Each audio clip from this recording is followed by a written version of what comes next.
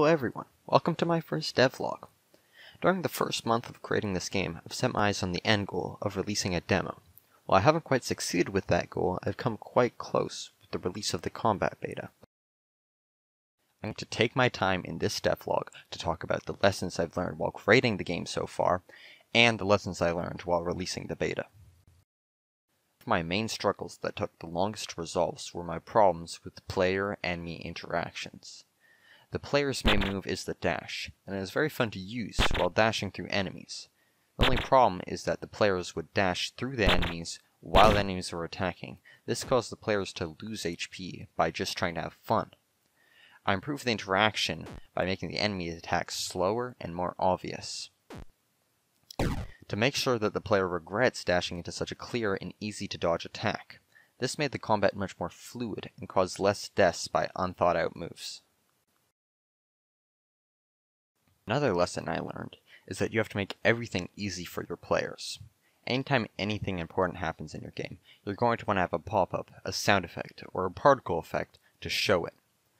One of the features I decided to add later in my game was a blood splash around the outside of the screen when the player got hurt. This helped a lot and made it so that the player didn't have to look down at their health bar during the combat. Thing in the combat beta that I probably should have spent more time on is the tutorial. It is one of the most important things that is most commonly ignored by game devs. If the player isn't taught to play the game well, then the player will most likely find the game extremely difficult. If you've got the player interested enough to play your game in the first place, then you should attempt to get them to play and enjoy your game for as long as possible. One lazy tutorial could make their session that much shorter. Piece of advice I have on game testing is to get your friends and family who do and don't play games to play the game in front of you.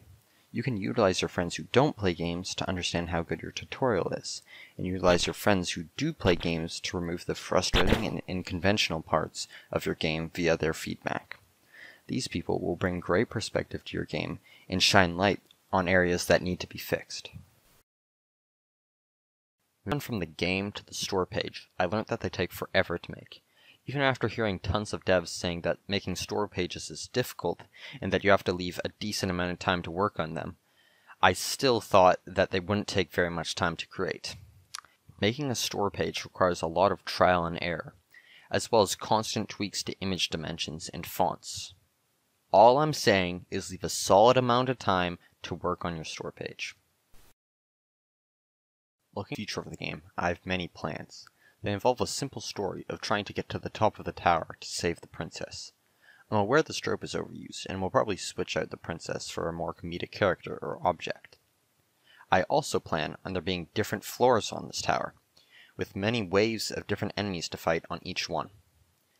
One more system I hope to add before the game's release is a skill-based power-up system that rewards the player for dashing through enemies back to back by allowing the player to redeem a power-up based on how many enemies were killed in a row.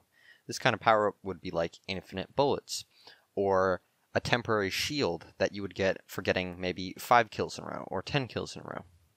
I think it will be an interesting system that will surely need multiple tweaks, but I do look forward to implementing it. Thank you for watching this first devlog. If you enjoyed it, I'd appreciate it if you could like the video. And if you wish to see other devlogs, I'd suggest subscribing. If you're interested in the game at all, you can play the combat beta down below, or you can watch this quick montage I edited. Thank you.